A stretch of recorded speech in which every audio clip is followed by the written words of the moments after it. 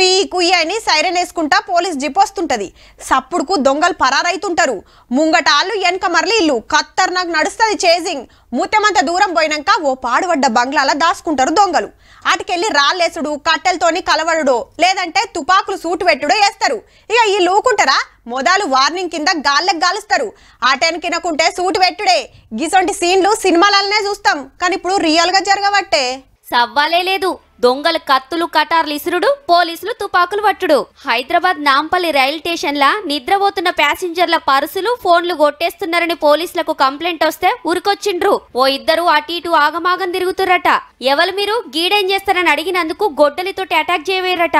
ఎమ్మటే పోలీసులు తుపాకీ సూటి పెడితే ఒకల తొడకు తూటా దిగింది. పేరు రాజు. ఓటాకు కూడా రానోడు రాత్రిపూట దొంగతనాలు చేస్తుండు. ఇంకొన్ని కూడా పట్టేసిండ్రు. మంగర్ బస్తీలుండి మంది పైకం కొట్టేసి ఎంజాయ్ చేసుడే మనోళ్ళ. పనేట ఇక ఆరం కిందట విజయవాడ హైవే మీద గిట్లనే జరిగింది. రాస్తాల మీద పార్తీ గ్యాంగ్ మోపై దోసుకుంటుందని మత్లావంది గస్తీ వెంచిండ్రు. పట్టుకుంటానికి వచ్చిన పోలీసుల మీదకి కత్తులతోటి మరలబడే వరకు ఫైరింగ్ చేసిండ్రట. పానాలు కాపాడుకుంటానికి తుపాకీ వాడొచ్చు పోలీసులు. ఒక రెండు వార్నింగ్ షాట్స్ పైకి కాల్చడం జరిగింది. దాని తర్వాత వాళ్ళు వెపన్ చూసి భయపడి లొంగిపోయినారు. ఒకళ్ళ అల్లకాడ కూడా తుపాకులుంటే తగ్గఫర్ నడుస్తుండే. అంటే పోలీసులు అతార్లు తీసే లెవెల్ల గ్యాంగులు మోపైతున్నాయన్నట్టు.